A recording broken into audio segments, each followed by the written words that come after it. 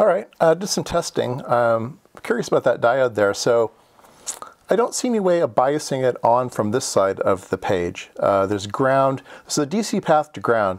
So the only way to turn that transistor on is to have a negative voltage on, on somewhere else, all right?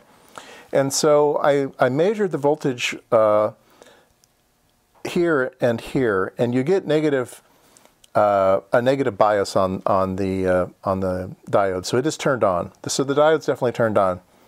And then I measured the output of this uh, C amplifier, or the band one amplifier, and it's giving me minus 10 volts. So that's enough to uh, to turn that diode on. So I believe that this page is okay for now. Never rule things out, but. Um, I now want to take a look at the next stage where the minus minus 10 volts comes from. So this is the RF output. So there is a DC path 470 through a, a uh, inductor, through a 100 ohms. There's a uh, biasing on a voltage here, so 10 microfarads holding a, a, negative voltage here, and it comes through a 10 ohm, and anyway, minus 20 volts. So it ends up being minus voltage here. Now maybe minus 10 is on the low side here. Maybe this capacitor is bad. I don't know. So let's uh, let's open this up and take a look inside. So I got out some proper proper tools to take those little those little nuts off, and uh, this is what the uh, M 10H module looks like, the output amplifier. Uh, some input, output, and some adjustments. Zoom in a little further. There we go. Um, yeah, it's pretty nice. They really understood RF. Look at these. Look at these resistors down here. I to get something better to point with. Where's my? Where's my blue pointer? So these resistors are actually wrapped in, in metal and then soldered to the board. So they have shielding around them. There's actually some other things like, uh, where was it? I think it was over on this side. Yeah, there's a, this diode is out in the open, but there's a, uh, a diode, I think, here that's shielded. It has, has a tube on it. Uh, yeah, very cool stuff. Um, really, really cool stuff. So anyway, uh, this is the input side and this is the output side. Um, so the input comes here and goes through a 44.7 or 447, probably 47. Yeah, a 47, 47 and an inductor to ground.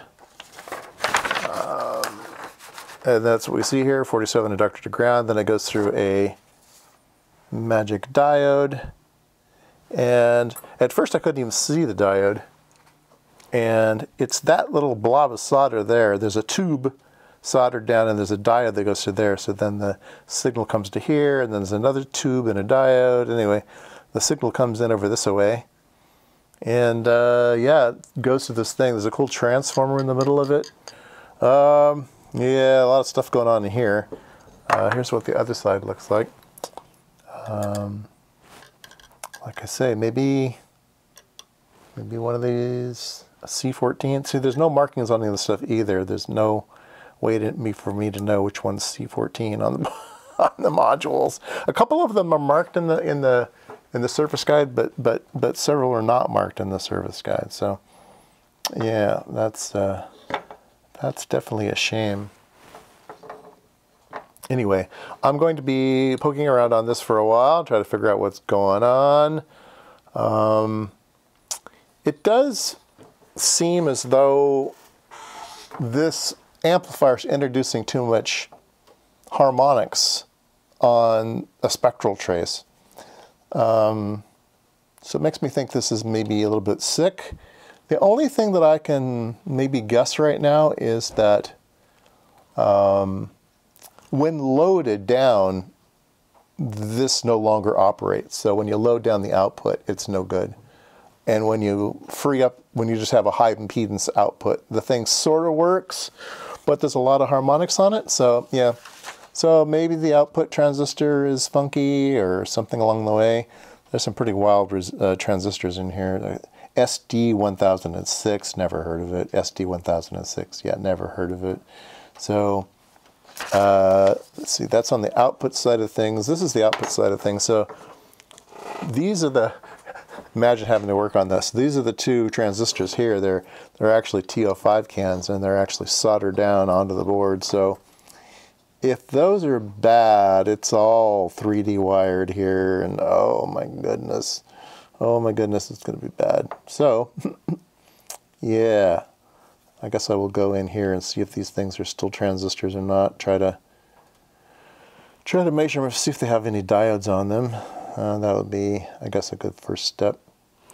Um, I don't know. It's from the documentation I have and the symptoms I've got, I'm just not not quite sure yet. I thought maybe you'd like to take a little bit closer look. So here's a, like I said, this is the, uh, the input section over here.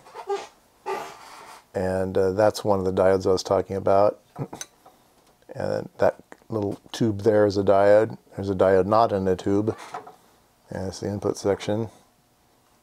And then over on this side is the output section. There's the resistors here and tubes.